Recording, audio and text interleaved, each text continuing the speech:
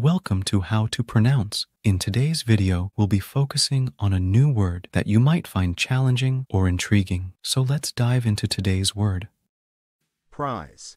which means, A thing given as a reward to the winner of a competition. let's say it all together. Prize. Prize. Prize. One more time. Prize. Prize.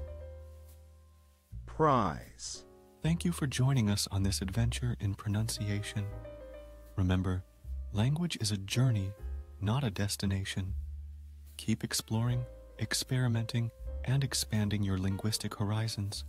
We'll see you next time.